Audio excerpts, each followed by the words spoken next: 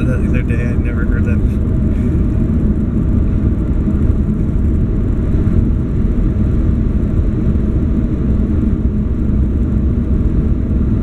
What would you do if you like fell out of an airplane without a parachute or something, or just fell off something incredibly high without a parachute? Like, what would you do? Enjoy the fall. Right? Like, I would, I would just like pencil dive head first, you know, like, what's the fastest way for this to end? just like enjoy. Maybe say a little prayer of gratitude for like your whole life. You know, like. Not like, Heavenly Father, please, if I make it out of this.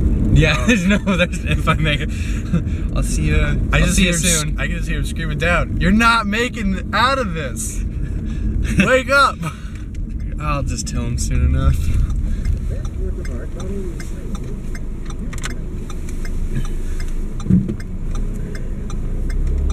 And then, yeah, prayer gratitude. I mean, suffice.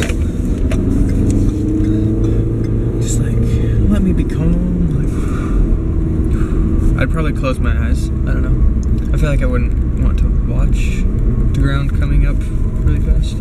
Go ahead. Like once it started getting close, I'd probably close my eyes. You know? I wouldn't want to go feet first. Oh yeah, and that's what I'm saying. Head first, like Head first would be the best because, like, it end fast. you know, it it's it's still gonna end fast, but like you won't feel the crunch. yeah, for that half a quarter of a second, you're gonna feel the surging pain from your toes to your neck, Yeah. and then it's done. But head first. I don't know. Would you still feel like a little crunch?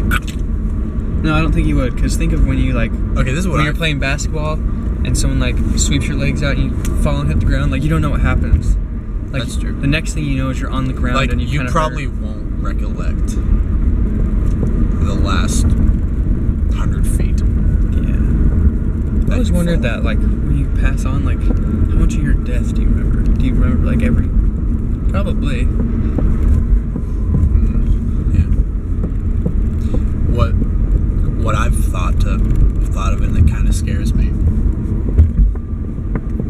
is like how do we know that like shooting someone in the head Doesn't hurt. kills them instantly? How do we know that? I mean, yes, it's obviously going to cause every motion, every function in their body to completely die. Yeah. But how, there's it- no one to there's no one to tell us that they're still feeling like who knows maybe for 30 seconds or maybe 30 minutes afterwards they're in searing pain until they we have no way of you know, knowing that. That'd be wild. I would hate